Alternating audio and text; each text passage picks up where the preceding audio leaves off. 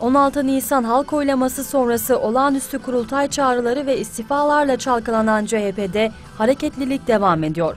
Kavga edenleri gerekirse kalk kapının önüne koyacağız. Cumhuriyet Halk Partisi e, tehditle, öfkeyle, e, sopa sallayarak yönetilemez. tüzüğümüzün gereği Sayın Genel Başkan'ın olağanüstü kurultayı toplamasıdır. Selin Sayak Böke ekonomiden sorumlu genel başkan yardımcılığı ve parti sözcülüğü görevinden istifa etmişti. Parti sözcülüğüne Bülent Tezcan getirildi. Sayın Genel Başkanımızın görevlendirilmesiyle parti sözcüsü olarak bundan sonra çalışmaya devam edeceğiz. Ekonomiden sorumlu genel başkan yardımcılığı görevine ise İstanbul Milletvekili Aykut Erdoğdu'nun geleceği öğrenildi. Hürriyet'in haberine göre yeni görevlendirme için CHP lideri Kemal Kılıçdaroğlu Perşembe günü Erdoğdu'yu çağırarak MYK üyeliği teklifinde bulundu. şu eksiktir, şu doğru değil, şu yanlış diyebilsin. Habere göre Erdoğdu bu teklife olumlu yanıt verdi.